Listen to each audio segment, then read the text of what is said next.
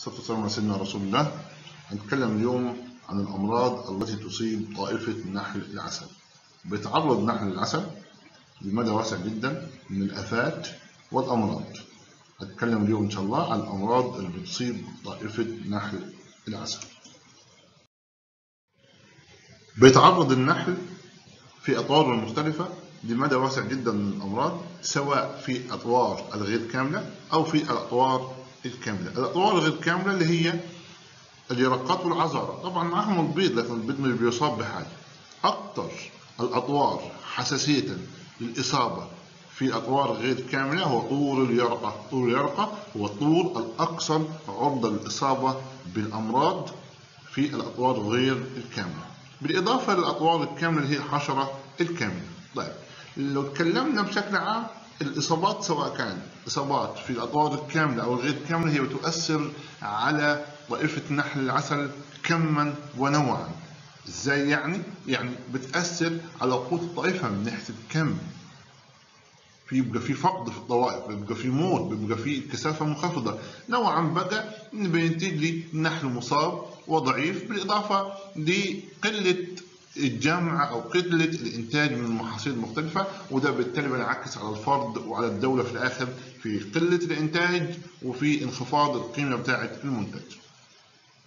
طيب آه، تحت ظروف محافظة جنة أو أو جنوب الصعيد نقدر نقول إنه أمراض النحل البالغ هي أكثر انتشارا من أمراض الحضنة، ندي مثال على جنة مثلا نقدر نقول إنه أمراض النحل البالغ في جنة أكثر انتشارا وظهورا من أمراض الحضنة، يعني لو خدنا مرض زي النزيمة هنلاقي النزيمة ضررها وظهورها أكثر من أمراض الحضنة اللي تكاد تكون غير موجودة في محافظة جنة.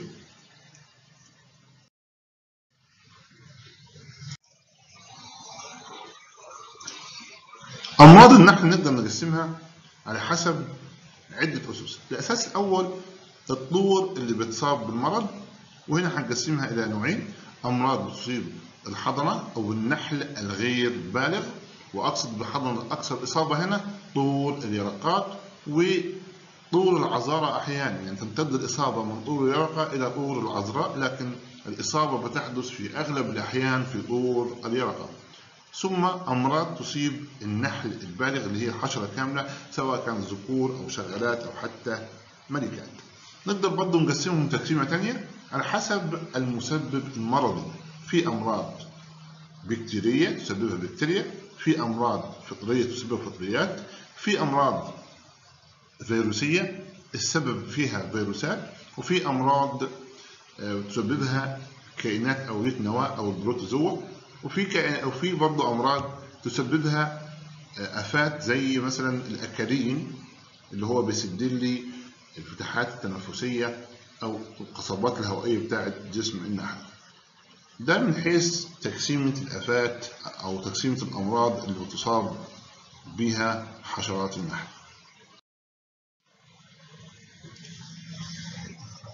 يبقى أمراض النحل أمراض بتصيب الحضانات وأمراض بتصيب النحل البالغ الأمراض اللي بتصيب الحضنة أمراض بكتيرية يعني سببها بكتيريا أمراض فطرية تنتج عن الإصابة بالفطريات وأمراض فيروسية تنتج عن الإصابة بالفيروسات الأمراض اللي بتصيب النحل البالغ بتبقى أمراض السبب فيها وجود الكاروسات أو أمراض فطرية أو أمراض فيروسية. إن شاء الله هنركز على الأمراض اللي بتصيب النحل البالغ لأن هي الموجودة عندنا بكثرة يعني وهي اللي بنتج عنها ضرر كبير. أمراض النحل، أولاً أمراض بتصيب الحضن. الأمراض البكتيرية وزي ما قلنا دي ناتجة عن الإصابة ببكتيريا ودول مرضين مشهورين جدا هنحاول برضو نتكلم عنهم إن شاء الله. الأمراض الفطرية ودول برضه دول مرضين معانا نتكلم عنهم ثم الأمراض الفيروسية. الأمراض البكتيرية الأشهر فيهم تعفن الحضنة الأوروبي وتعفن الحضنة الأمريكي. الأمراض البكتيرية هناخد منهم مرضين هما الأكثر انتشارا في الحضنة تعفن الحضنة الأوروبي وتعفن الحضنة الأمريكي الأمراض الفطرية هناخد مرض الحضنة الطباشيري وهناخد مرض تحجر الحضنة ثم الأمراض الفيروسية اللي هو مرض تكيس الحضنة أولا الأمراض البكتيرية مرض تعفن الحضنة الأوروبي ومرض تعفن الحضنة الأمريكي. طبعا من اسمهم كده المسبب المرض بتاعهم بكتيريا. مرض تعفن الحضنة الأمريكي. المرض ده ناتج عن إصابة ببكتيريا برمز له أو الاختصار بتاعته ال AFB American Foul Brood يبقى لو لقينا ال AFB ده بيرمز لتعفن الحضنة الأمريكي. المرض ده المسبب بتاعه بكتيريا Bacillus larvae اسمها العلمي Bacillus larvae. ودي بتصيب اليرقات حديثة السن يعني اليرقات اللي هي لسه صغيرة من عمر ثلاثة أيام وبتموت في دور العذراء يعني بتمتد أو بيمتد المرض فترة الحضانة بتاعته لغاية ما اليرقة بيتقفل عليها أو إيه بتوصل دور العذراء. وهنعرف بعد شوية بعض الأعراض اللي بتساعدني إن أنا أحدد أو أكتشف أو أشخص الاصابه بالمرض ده. يبقى تعفن الحضن الأمريكي ده مرض بكتيري الاختصار بتاعته AFB أو American Foul Brood المرض ده واحد من أخطر الأمراض اللي بتصيب الحضنه في نحل العسل وده منتشر في عدد كبير من الدول. لكن زي ما بقول هنا في الصعيد عندنا الحمد لله يعني مش موجود أو لم يتم رصده. المرض ده تم اكتشافه زمان لكن الحمد لله زي ما ذكرنا سابقا إن هو نادر الوجود في الصعيد وبالتالي هو مش عامل لنا مشاكل هنا لكن ممكن في الوجه البحري مع وجود نسب الرطوبة يكون موجود. زي ما قلت الطور اللي بيتصاب بالمرض ده هو طور اليرقات وبتموت أثناء دخولها في طور العذراء. طب إزاي أعرف الإصابة بيه أو شخص الإصابة بيه من أعراض المرض ده رقم واحد الموت اليرقات أو العذار زي ما خدنا من شوية بيحدث بعد تغطية العين السداسيه يبقى هي بتصاب في طول اليرقه لكن بتموت في طول العذراء. يبقى هي بتقعد ما زالت حية وبتموت أثناء دخولها أو بعد دخولها في طور العذراء. يبقى الاصابه في طور اليرقه لكن الموت بيكون في طور العذراء. في الحالة دي برضو هلاقي إنه غطى العين السداسية مقعر يعني إيه مقعر؟ يعني نازلة تحت شوية كده. الأغطية مالها مقعرة. طيب. أصل برضو من ضمن الأعراض اللي بتميز الإصابة بتعفن الحضن الأمريكي إنه أغطية العيون السداسية تبقى مثقبة زي ما هنشوف إن شاء الله في الصورة بعد شوية. الغطاء بتاع العين السداسية مش بيبقى الغطاء مكتمل أو غطاء كله حتة واحدة لا بيبقى فيه ثقوب غير منتظمة على الأغطية بتاعت العين السداسية ليه؟ لأنه النحل بيحاول إن هو يطلع أو يخرج اليرقات أو العذارة اللي هي أصبحت عذارة خلاص أصبحت مصابة وميتة بيحاول يطلعها فبايه؟ بيحاول يعمل ثقوب في العيون السداسية أو في الأغطية بتاعت العيون السداسية برضو من أهم الأعراض المميزة من أهم الأعراض المميزة للمرض ده أن اليرقات الميتة اللي بتبقى في العين السداسية بيبقى قوامها لزج ويصعب على النحل إزالتها يعني يصعب على النحل إزالتها بتبقى عاملة زي مظهر اللبانة كده. لو حطيت عودة كده وشديتها بتتمط معاك زي اللبانة كده. وده عرض مميز جدا جدا جدا لتعفن الحضنة الأمريكي عن تعفن الحضنه الاوروبي، تعفن الحضنه الأمريكي يصعب إزالة اليرقات الميتة بيبقى قوامها لزج أو مطاط زي اللبانة كده يعني لو حطيت عودة في العين السداسية وشديتها تعمل مظهر اللبانة. برضو الاغطيه السداسية بيبقى المظهر بتاعها رطب نتيجة إيه؟ للرطوبة الموجودة في اليرقة المصابة بالإضافة الكلام ده كله بعد فترة من الموت بيحدث جفاف اليرقات دي وتحول إلى قشور بتلتصق تماما بقاع العين السداسية يصعب إزالتها يبقى وهي يرقة مصابة لسه رخوة يصعب إزالتها ولما بتجف بعد فترة من الإصابة برضه تبقى قشور برضه تبقى ملتصقة بيصعب إزالتها. العذارة بعد الموت بقى بيحصل لها انكماش زي ما قلت. بالإضافة للكلام ده كله إن بتبقى أجزاء فمها ممتدة إيه؟ ممتدة للأمام أو لفوق يعني في العين السداسية والعرض ده برضه من أعراضه مميزة جدا لمرض تعفن الحضنة الأمريكي. بالإضافة للكلام ده كله ظهور رائحة كريهة تشبه رائحة السمك المتحلل وده في البلاويز أو في الأماكن اللي فيها حضنة مصابة. يبقى دول أهم الأعراض بتاعت الحضنة الأمريكي. نشوف مع بعض الصور. زي ما شايفين كده أدي هنا مظهر الإصابة العيون أو الأغطية بتاعت العيون السداسية مالها الاغطيه غير منتظمة. يعني مالها غير منتظمة يعني مثقبة في ثقوب. إيه الثقوب دي من فين؟ حاول النحل إن هو إيه؟ إن هو يفتح على الحضنه المصابة ويطلعها لأنها أصبحت ميتة. نفس الفكرة هنا. هنا بقى هنشاهد اليرقات المصابة. هنا زي ما قلنا لما تحاول تشد أو تستخرج اليرقات المصابة تبقى مظهرها إيه؟ زي اللبانة كده. أو مظهرها مطاط أو بيصعب إزالتها تبقى إيه؟ تبقى لازجه وملتصقة تماما بقاع العيون السداسيه المرض الثاني تعفن الحضنة الأوروبي. يبقى إحنا كده عندنا مرضين مرض تعفن الحضنة الأوروبي ومرض تعفن الحضنة الأمريكي. مرض تعفن الحضنة الأوروبي بيرمزوا له بالرمز أو بالاختصار بتاعته European Foul Brood أو ال EFB يبقى هناك كان EFB اللي هنا AFB طبعا بالنسبة لكلمة أمريكان وكلمة European. طيب. اللي هناك كان مسبب بكتيريا هنا برضو المسبب بكتيريا برضو المرض ده بيؤثر على يرقات النحل فقط.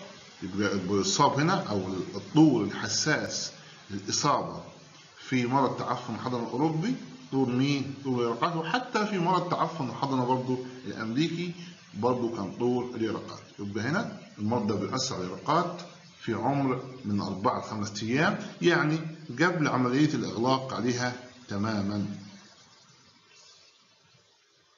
أقل شيوعا في طوائف النحل الإيطالي يعني نقدر نقول إنه طوائف النحل الإيطالي أكثر مقاومة للمرض ده من طوائف النحل الكلينيول أو من باقي طوائف النحل.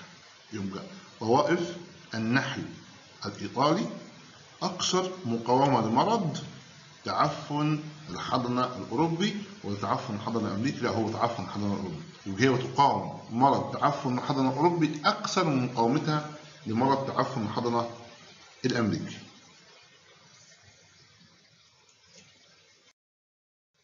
أعراض الإصابة بالمرض؟ رقم واحد ان اليرقات دي بتموت هي في وضع ملفوف. يعني إيه وضع ملفوف؟ يعني تبقى اليرقة مش واقفة في العين السداسية مش رأسها فوق وباقي جسمها تحت مش عمودية يعني في العين لكن تبقى إيه؟ تبقى ملفوفة في العين. يعني لسه لم تملأ العين السداسية العين السداسية لسه لسه إيه؟ لسه ما اتملتش اليرقة ما كبرتش لدرجة إنها تملى العين السداسية وبالتالي هنلاقي اليرقات تموت هي هي إيه؟ في وضع ملتف أو ملتوي أو غير منتظم داخل العين السداسيه زي ما هنشوف بعد شوية. اليرقات هنا بتموت وهي في ما زالت في عمر اليرقة.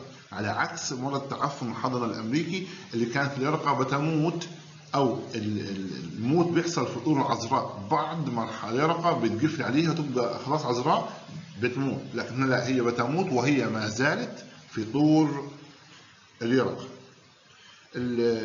اليرقات هنا ممكن تموت طبعا زي ما قلنا هي طول اليرقة في أطوال مختلفة. بعمر أربع أيام وعمر خمس أيام.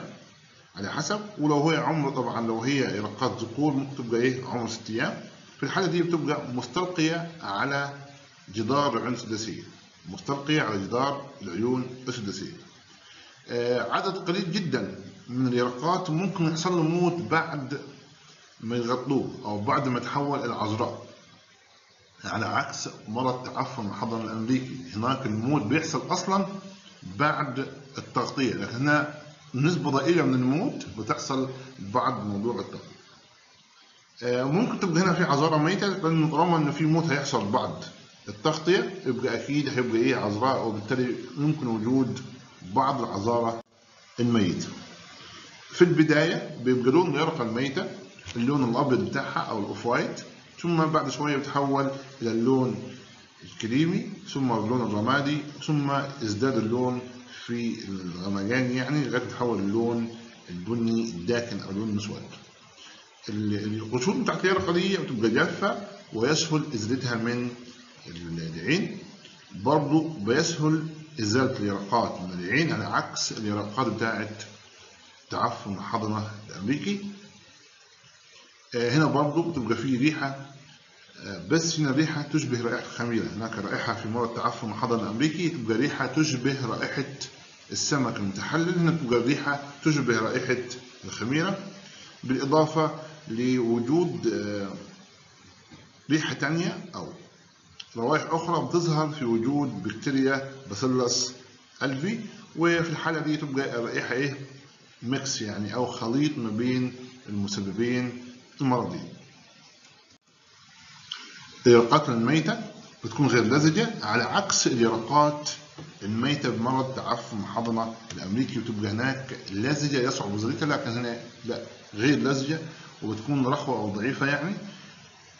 اليرقات اللي هناك بتأثر بها كل أفراد الطائفة وهنا برضه بتأثر يرقات الذكور ويرقات الملكات أيضا بالمرض ده. لكنه زي ما قلنا سابقا إن هو في يرقات أو الحضنة القادمة من سلالة النحل الأوروبي الإيطالي تبقى أكثر مقاومة لمرض تعفن الحضنة الأوروبي من تعفن الحضنة الأمريكي.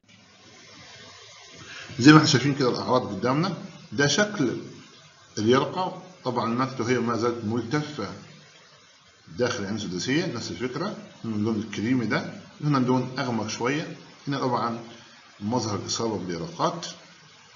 هنا برضو اللون البني الغامق شوية ودي اليرقات هي مصابة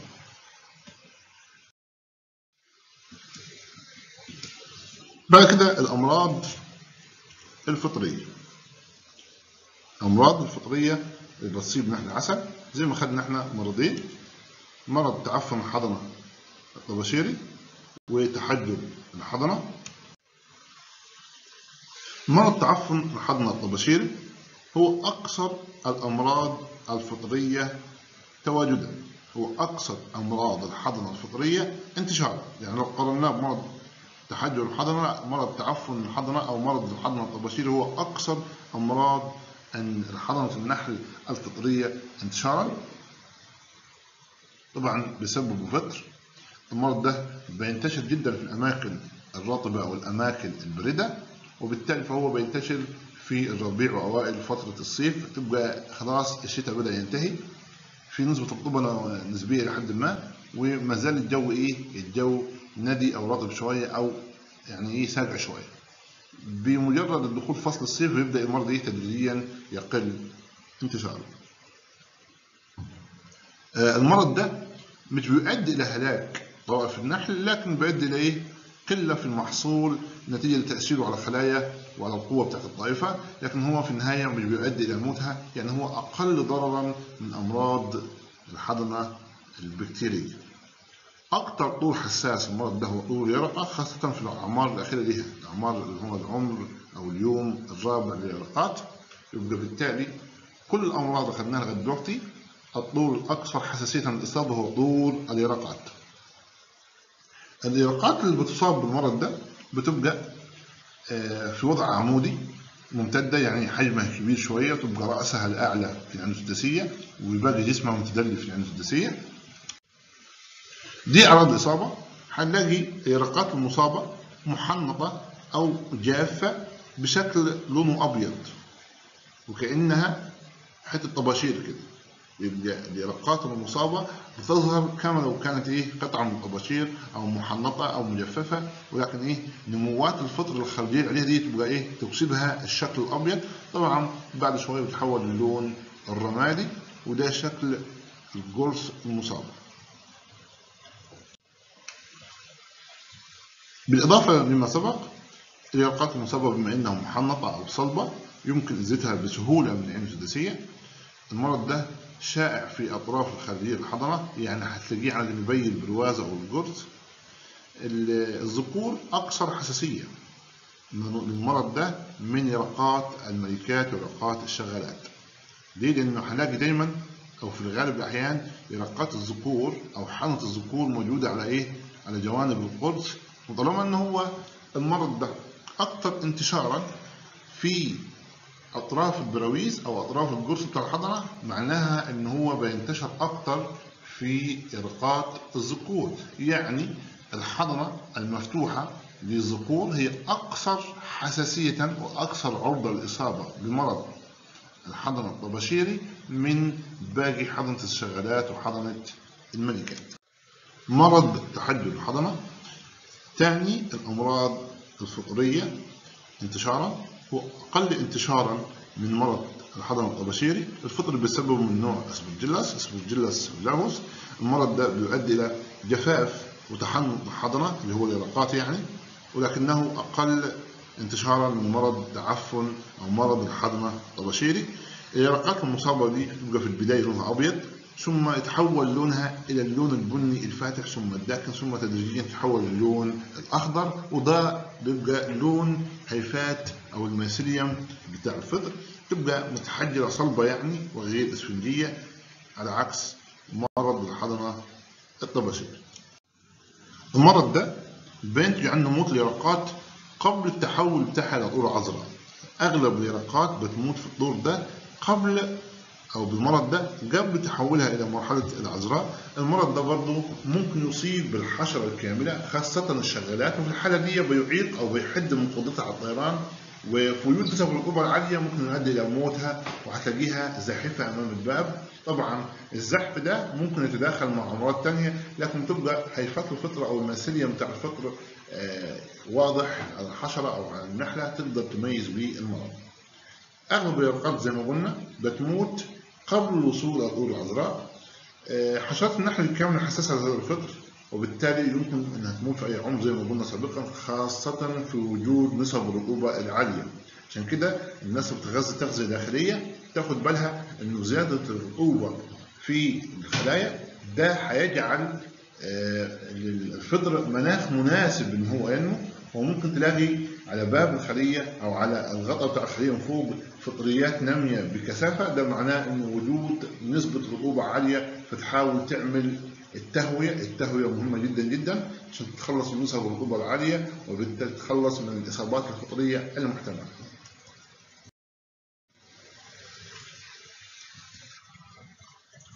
من الأمراض اللي بتصيب نحل عسل برضه الأمراض الفيروسية للعلم إن الأمراض الفيروسية ملهاش علاج يعني طالما الفيروس صاب بالحشرة أصبح التخلص من الحشرة شيء مهم عشان تقدر تتخلص من مسببات المرض على عكس الأمراض الفطرية الأمراض البكتيرية ممكن العلاج يجيب نتيجة. يعني ممكن العلاج يبدأ يسيطر على البكتيريا أو الفطر لكن في حالة الفيروسات بيبقى صعب جدا إنك تسيطر على الفيروس خاصة لو صاب الحشرة يعني الحشرة المصابة بالفيروس صعب إنها إيه؟ إنها ترجع تاني خاصة لو كانت إصابة في مرحلة متقدمة.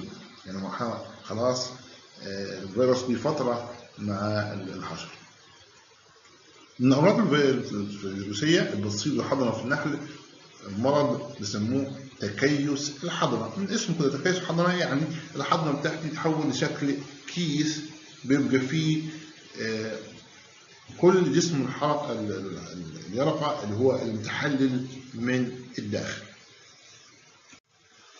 المرض ده بيسبب نوع من الفيروسات. بيسبب يرقات النحل قبل تغطيتها يعني برضه هي لسه ما زال فطور اليرقة المفتوح. والموت بيحصل إمتى؟ بيحصل الموت بعد الموت. زي المرض ده كده قريب من مرض تعفن الحضن الأمريكي اللي هو إصابة بتحصل أثناء طول اليرقه المفتوحة وبعد ما بتحصل تغطية اليرقات تبقى عذراء يعني بيبدأ إيه؟ يحصل الموت.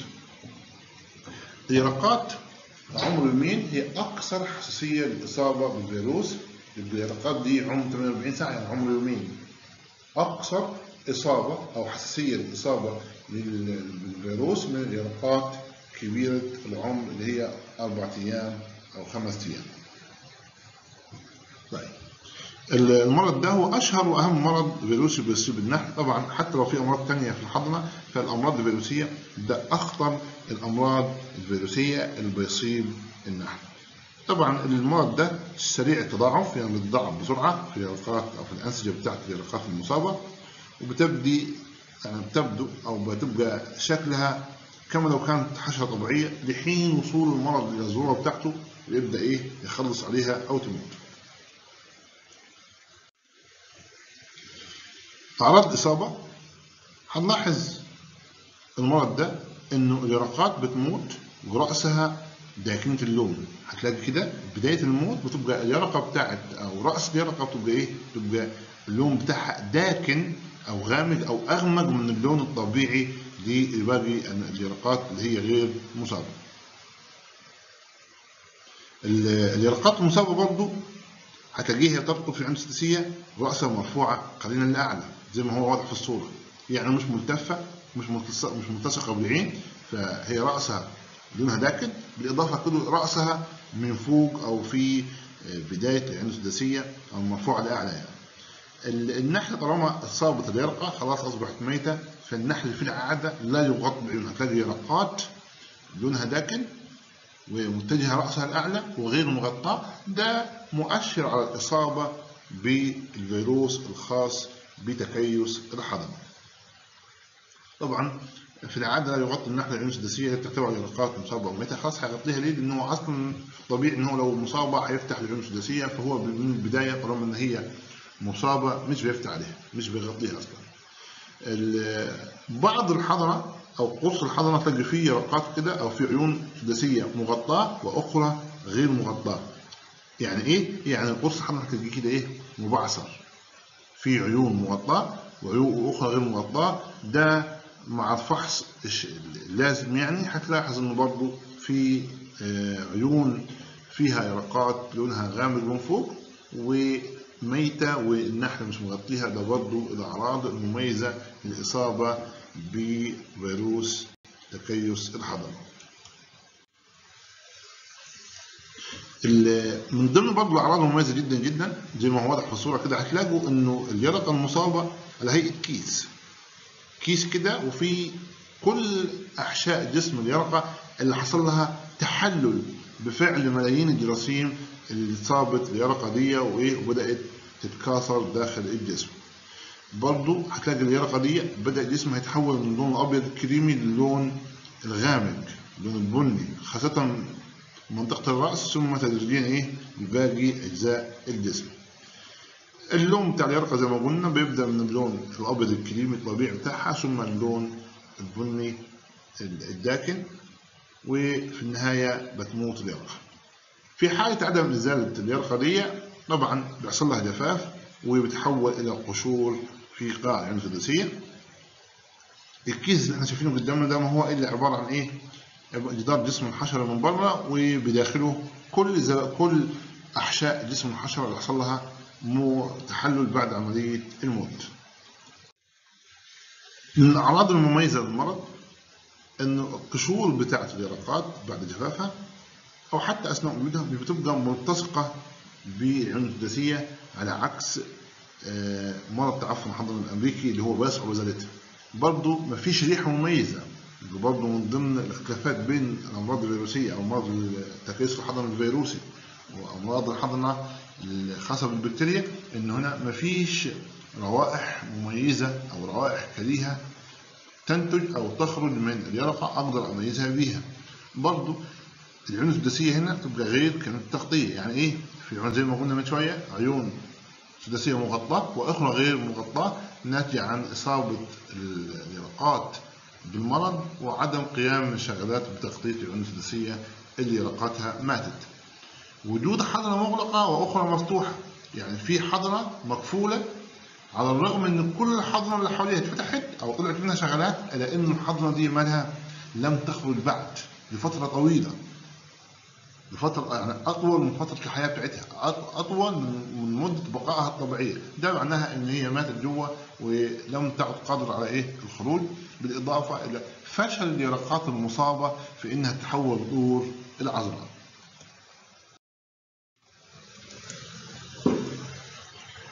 الأمراض بتصيب النحل البالغ ودي المهمة جدا جدا لأن دي الأكثر انتشارا. أمراض اللي بتصيب النحل البالغ يمكن نقول في محافظة جنة إحنا هنا عندنا أكثر انتشارا من الأمراض اللي بتصيب الحضن.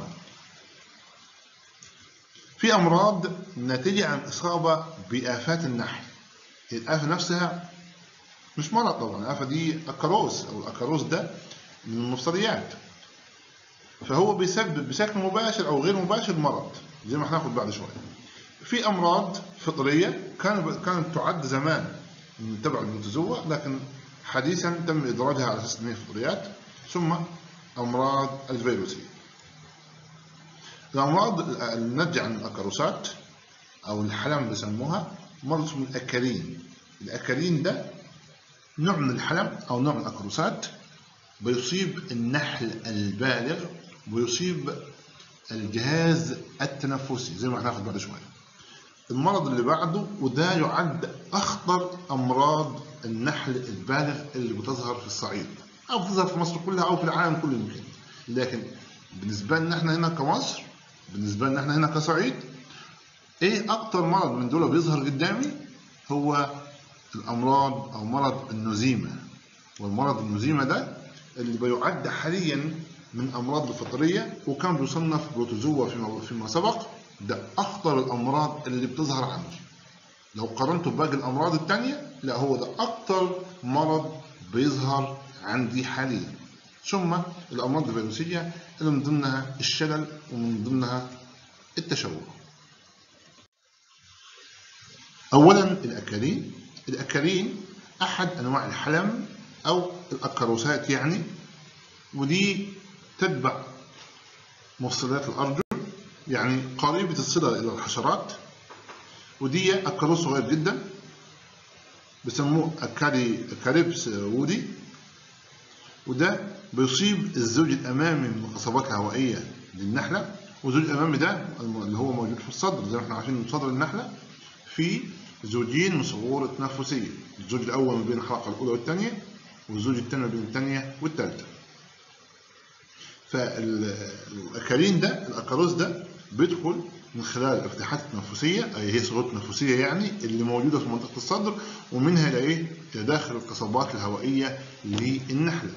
بيبدأ إيه بقى؟ يبدأ يتكاثر ويمتص عصارة جسم النحلة من خلال الجذور دي وفي النهاية بيبدأ يحط البيض أو الإناث بتاعته تبدأ تضع البيض بكميات ضخمة داخل القصبات الهوائية دي وبالتالي انتشار أو زيادة أو وجود كثافة كبيرة من أعداد الأكاروس ده داخل القصبات الهوائية بيؤدي إلى انسدادها وعدم قدرة النحلة على التنفس ومن الأعراض اللي تبقى موجودة أو بتوضح المرض ده انتفاخ بطن الشغالات تهدل الأجنحة بتاعتها ونقدر نقول عدم قدرة نشاط النحل أو عدم نشاط النحل أو خمول في حركة النحل تبعث الأجنحة ويصبح وضع الأجنحة على الجسم على شكل حرف كي النحل بيفقد قدرة الطيران وبيحصل له عملية زحف. يبقى النحل هنا خلاص مش قادر يتنفس مش قادر يقوم بالعمليات الحيوية بتاعته. بيبدأ يفقد قدرته على الطيران نتيجة لتهدد الأجنحة بتاعته وضعفها وبالتالي تلاقي النحل زاحف أمام باب الخلية في جماعات وبيحاول يتسلق أي حاجة يلقاها إيه قدامه حشائش أو أفرع نباتية أو نباتات أو أي حاجة يلقاها قدامه بتحاول إيه بيحاول إن هو يطلع عليها لفوق كده لكن إيه للأسف بيموت وبيفشل في قدرته على إن هو إيه يتسلق أي شيء قدامه نتيجة للإصابة بالمرض نتيجة الناحية الثانية لضعفه العام نتيجة لنقص التغذية. ده شكل الأكاروس طبعا صغير جدا جدا بيصيب القصبات الهوائية. المرض بقى الأكثر انتشارا والأكثر حساسية والأكثر ضررا على الإطلاق في يمكن في أغلب دول العالم وبالتالي في مصر وبالتالي في جنوب الصعيد وبالتالي في هنا تحديدا. يعني لو قارنا إيه أكتر مرض مشهور هنا؟ هنلاقي هو النزيمه، النزيمه يكاد يكون مرض منتشر في كل أنحاء العالم. والنزيمه دي بيسببها مسببين مرضيين نوعين من الطفيليات كان يعتقد زمان إن هم تبع البروتوزوا لكن مؤخرا تم إعادة تقسيمهم على أساس إن هم إيه نوعين من الفطريات نوزيما إيبس ونوزيما سيرانا. المرضين قد يكون المسبب المرضي لأي نوع منهم للمرض يعني أحدهما أو كلاهما. يبقى المسبب المرضي للنزيمة إما يكون واحد من دول لوحده أو ممكن يكون الاثنين معا طيب. المرض ده زي ما قلت من أكثر أمراض النحل انتشارا في العالم. بيصيب النحل البالغ طبعا مش هتلاقي النزيمة في النحل الصغير هتلاقي النزيمة في النحل البالغ. الإصابة بتبقى في أعلى مراحلها في أواخر الشتاء وأوائل الربيع يعني هو بيبقى في فترة الشتاء الإصابة عالية بشكل عام. النزيمة إمتى؟ بتظهر يا جماعة؟ أطول وأكتر وأفضل فترة تلاقي فيها النزيمة منتشرة هي فترة الشتاء. يبقى تبلغ شدة الإصابة بمرض النزيمة في الصيف ولا في الربيع ولا في الخريف ولا في الشتاء؟ لا هي في الشتاء. يبقى الشتاء أو الطقس البارد هو أقصر الفصول مناسبة لتطور أو انتشار النزيم وإن كان بيبدأ في آخر الصيف تدريجيا مع ارتفاع حرارة يحصل له انخفاض أو بيقل. في ارتباط وثيق جدا طبعا ما بين موت الطوائف في الشتاء وإصابة النحل بالنزيمة عشان كده نقول إنه فترة الشتاء أصعب فترة على النحل جوع من ناحية والبرد من ناحية بالإضافة للأمراض من ناحية ومن أخطر الأمراض دي مرض النزيمة اللي بيؤدي إلى موت عدد ضخم جدا من النحلة تلاقي النحلة كده تدخل المنحل بتاعها تلاقي النحل مفروش على أرض المنحل النحل كتير زاحف النحل كتير ميت نتيجة الإصابة بمين؟ نتيجة الإصابة بالنزيمة إيه الأعراض بتاع المرض ده؟ بتبدأ الأعراض بتاعتك أو بتاعت النحل يعني في انتفاخ في بطن الشغالات ترهلها عدم قدرة على الطيران وتشابك الأجنحة الأجنحة الطبيعية لما بتطير الحشرة كل جناحين في ناحية مع بعض. زي ما خدنا في سنة تانية إن هو كل جناحين بيشتبكوا مع بعض. لا تبقى الحشرة غير قادرة على ربط أجنحتها وبالتالي غير قادرة على الطيران.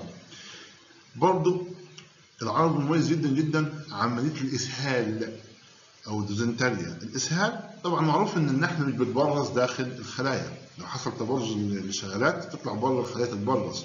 النحل محافظ جدا على مستوى النظافة داخل الخلية. لكن في حالة الإصابة بالنزيمة بيبقى النحل غير قادر إن هو يخرج بره الخلية بتاعته ويتخلص من المخلفات. وبالتالي هتلاقي آثار للبراز على جسم الخلية من بره وعلى لوحة الطيران بشكل كثيف. آه النحل طبعا بما إنه هو ضعيف ومش قادر يربط اجنحته مع بعضيها ومش قادر يطير هتلاقي فشل وعدم قدرة النحل على الطيران خارج الخلية وبالتالي سقوطه على الأرض بأعداد كبيرة ثم زحف. هتلاقي زحف كتير النحل تمسك النحلة كده تحاول تطيرها مش قادرة تطير توقع تاني على الأرض وتبدأ تمشي أو تزحف وبتحاول تتجمع على أي حشائش قريبة من المنحل بتاعك لكن في الآخر بتفشل وبتموت. ده نتيجة لعدم قدرتها على تحريك الأجنحة وربطها ببعضها. لون النحلة بتحول إلى اللون اللامع. اللون اللامع ده خاصة اللون المسود شوية. ليه؟ لأنها فقدت الشعر أو الزغب اللي موجود على الجسم من بره.